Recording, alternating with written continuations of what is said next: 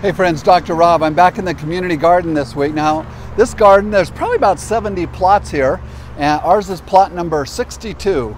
And guess how much it costs for us to have a plot in the garden here? It's very expensive. You ready for this? $58 for the entire year. Are you kidding me? It is so much fun. And one of the things I love about our community garden is that we have rules and they're enforced. You can't just trash the place. You can't just plant something and then not take care of it.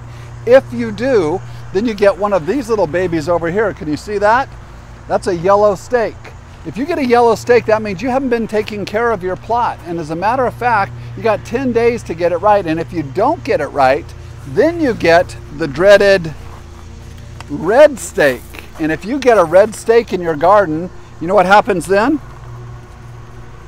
Anybody else can come and pick any of your fruit and then a couple weeks later they'll give your plot to somebody else who's on the waiting list. Why? Because you didn't take care of it.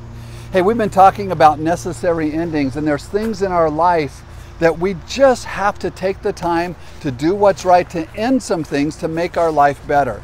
As a matter of fact, there's probably some things in your life right now that you have a yellow stake going on. You know you have to do it, you just haven't got to it. But here's what the problem if you let them go too long, they become red stakes, and then we're all in trouble. Actually, uh, uh, Henry Cloud makes the point, he uses a, a, a, gardening analogy when he says what actually needs to be pruned. There's three types of things. What are the things in our life that are just, they're dead? I mean, you know what? They used to be a part of our life, they're not anymore, but you just need to end that. You just need to get your pruning shears and cut them right out. Those are the easy ones. The things that are dead, go ahead and remove them, move on from those in life. Then there's other things that are sick. And the sick ones, sometimes you can save one of the sick branches, especially if it has fruit on the end. But often what you'll find is it's sort of broken or leaning over and you can stake it back up and see if the nutrients can still get to it. Sometimes they're worth saving. Most of the time you gotta go ahead and prune those as well. And then the other one, now listen to this because this is the big surprise. The other things we need to prune in our life often are healthy. They are healthy and they're producing fruit, but if you just let all of the buds start to uh, bloom, then what's going to happen is none of them are going to reach their unbelievable full potential. Sometimes some things that are in our life that are healthy and good, you still need to prove those in order to make room for the things that can be even great. I tell my team all the time, what is it in your life that you're good at but you want to be great at?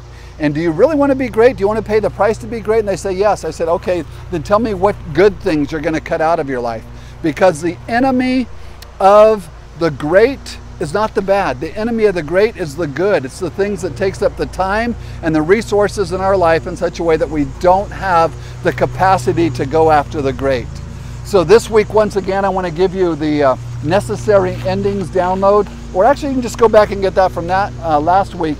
And so what I want to make available to you this week is once again an opportunity to get the executive book summary of Good to Great so you can look at that principle from Jim Collins' perspective as well. One more time, we're going to be in the garden uh, in our next video because I want to tell you one more thing about necessary endings that perhaps you hadn't thought of.